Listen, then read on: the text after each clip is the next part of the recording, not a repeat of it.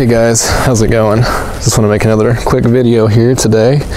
And um, so, on the topic of eternal security, there are a lot of people who say, you know, eternal security, you can't find that anywhere in the Bible, you know, that phrase, but you can find eternal life all over the Bible in the New Testament. And uh, that's, that's the same thing, really. So, um, you know, a good verse, another good verse to support eternal security is 1 John chapter 5, verse 13 says, These things have I written unto you that believe on the name of the Son of God, that ye may know that ye have, already have, eternal life, and that ye may believe on the name of the Son of God. So those who believe in God, they already have eternal life. Those who have been born again, truly been saved, they truly had saving faith. Um, you know that includes repentance turning from sins and obedience and surrender. Um, so you know over and over again we see in the new testament you know whosoever believes in me has eternal life and will not perish. You know it doesn't say whosoever believes in me has the opportunity to have eternal life or or you know possibly might not perish but these are you know straightforward words that are being used here that, that you know that you can trust God's word when He says, if you believe on Him for your salvation, if you're willing to obey Him, to turn from your sin, then you are born again and you have eternal life. And there's nothing that you can lose it, nothing that you can do to lose it because you are now in God's hands.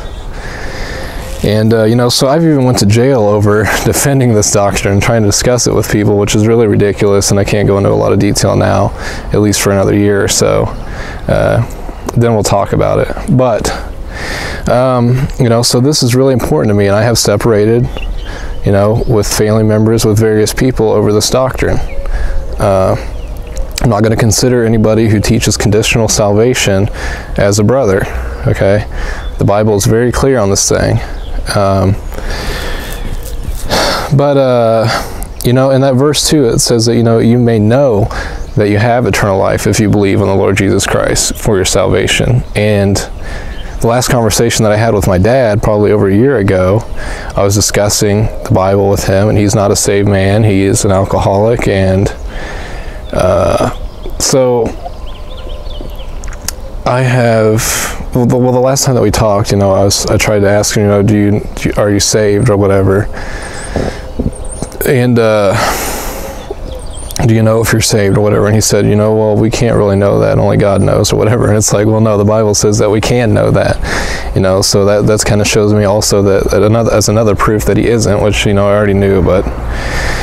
Um, so nobody can say that that we can't know for sure that we're saved or not. The Bible refutes that, and it says that we can know, and it says that we have eternal life. It doesn't say. Um, you know, if, if we could lose our salvation, then Jesus would have to say, you know, you have you have temporal life, or you have the possibility of having eternal life. But no, he said you have eternal life if you believe in me. It's a done deal. And you know, praise the Lord for that.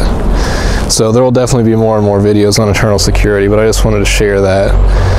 Um, and I just want to share some other various things. I got another book here recently called Final Authority, and it looks to be like a really great resource on the history of the King James Bible, defending the King James Bible as the Word of God. And so I definitely got to read that. But I'm still reading, you know, the uh, What Love Is This by Dave Hunt on Calvinism. And I, may, I mentioned some things about that in the Calvinism video that, you know, I don't agree with selling books and copyrights and stuff. And uh, I was thinking about it, you know, more thought needs to be put into it. I mean, if you're if you're making books and stuff, and this is probably before you know the internet was huge and stuff, like back in the day, you know it does cost money for the pages, for the ink and stuff. You know, maybe not a whole lot. So it's like if somebody wants this material, you know, uh, it's it's probably it's not bad, you know, to charge them for for the cost of the material. I mean. I mean, I could see that as being okay, and maybe a little bit extra, you know, for the work of doing it. But you know, how much of a profit are these people really making? If I pay 20 bucks for a book, and you know it only costs them like five bucks to make it or something you know is it some huge profit that they're making? I mean i don't think that that's right. And i still think that you know copyrights aren't right. And things are definitely totally different today when we have the internet. I don't think that there's really any excuse. Any christian ministry should just have let their videos any of their writings anything should be available and not copyrighted. Uh, I found a really good article on the issue of the copyrights uh, from the, a biblical perspective, and so I'll probably go over that soon, hopefully. But uh, so there's things to think about there, and uh, you know, there's other things I don't agree with on Dave Hunt um, that I don't really see as as critical for separating, but you know, maybe questionable. Like he says things like the Old Testament saints are in the body of Christ now. You know, maybe they weren't until Christ died, but you know, I don't agree with that. And you know, he probably teaches that they weren't permanently indwelled. You know, there's things that I won't separate with people if if they understand that the Old Testament saints were eternally secure just like today, and people are eternally secure in every dispensation who are saved but yet they say something like they weren't permanently indwelt, which contradicts that because the indwelling means that you're that you're sealed and that you're you know secure.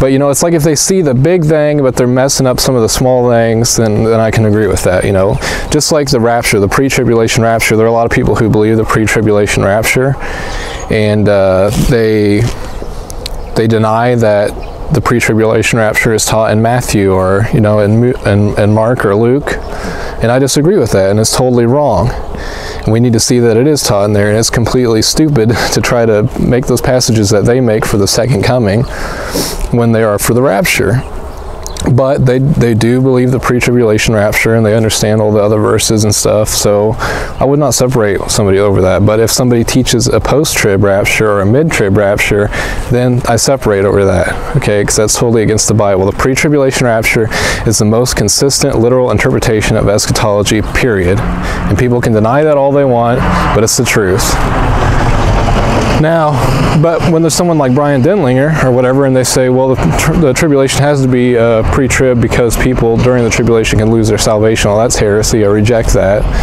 and I don't consider that person a brother. Okay, you say he's defending the pre-tribulation rapture. No, he's teaching heresy is what he's doing. And uh, so, anyways,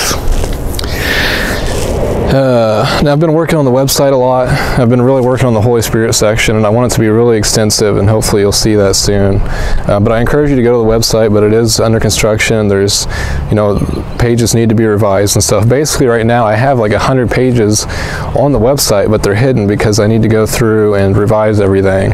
But hopefully, speedily I'll get that. And uh, you know, I'm not working at this moment. Don't have a full time job or anything, so I have a lot of free time, and I, I, I ask for your prayers that I'll get a full time job soon, and I'm, pretty sure that God will deliver. But I really need to use this free time that I have, and I feel like I've been lazy uh, before, but now I'm really trying to hit it hard to get this website going, to get pages up, to teach, and uh, to help people learn, including myself. I learn as I'm doing it. And uh, so, anyways, just pray that you know God will help me to focus and give me the willpower to work hard on the website to get things done. And, and, hopefully, soon within the next week or two, I'll have this Holy Spirit section done. And I encourage you to check it out now, but it is a mess and stuff. You know, there might be things on there that might contradict each other a little bit or something because I'm using stuff from different articles and whatnot. But uh, I just when I do get it when I do feel like it's complete on every page I'm going to put a comment section I'll probably make a video and be like hey I'm done with this Holy Spirit section for now. Go and check it out. And I hope that you'll comment and I hope there will be some interaction on the website and people will start to really use it. And uh, and I'm just trying to really work on the sound doctrine section. I want to have like a strong foundation on the website you know, for the most basic Bible doctrines that people need to know, and I want to expand on them a lot, you know, including eschatology and Jesus Christ and the Trinity and the doctrine of salvation and all this. Uh, so I just hope that I can hit that hard and, and, get them quicker and quicker done, and then I can go into all kinds of different topics, you know. Uh, you know, like I want to go over, you know, is smoking a sin or tattoos a sin? You know, should Christian men have long hair and stuff that I've covered like that in the past, and hard to understand verses or verses that are taken out of the context all the time, and uh, you know, controversial issues, different religions, all that. I want to go over everything. You know, Lord willing, over time. There's many, many things that I want to go over, and uh, but the weather's been pretty awesome recently, and. Uh, just really happy that things are starting to really come together in my life and I want to share something else with you really quick before I end this video and I hope that it's under 15 minutes it's 10 minutes right now I gotta pick up this cord it's my microphone Okay. So let me see. I Wasn't really prepared. So this is my vehicle here. it's like a Kia Sportage, but uh, see, I've had two DUIs, and uh, so it's been a long process going to court and stuff. But now I finally got a breathalyzer installed in my vehicle. So that's what that's like, and they put a camera up here that records every time that I blow on it. And it, see, I got to turn the vehicle on, turn the power on, then it asks me to blow, and I blow in it, and then I can start the vehicle.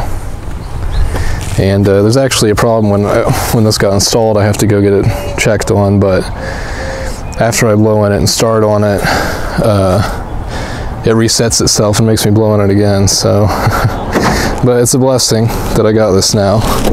So once I get a full-time job, I can go back and forth with that and so hopefully in a year or so I'll have my license fully back. But um, so I just wanted to share those things with you, and I'm going to continue to hammer on that website and uh, hopefully get some more videos done this weekend.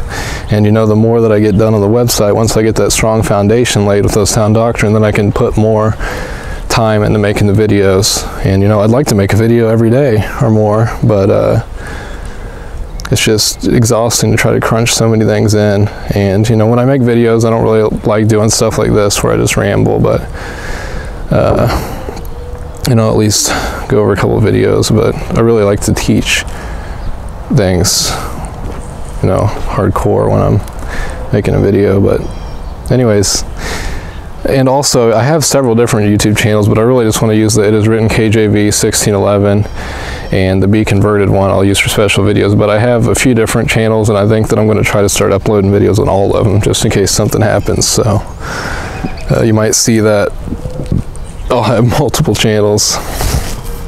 Uh, but thanks for watching, and God bless.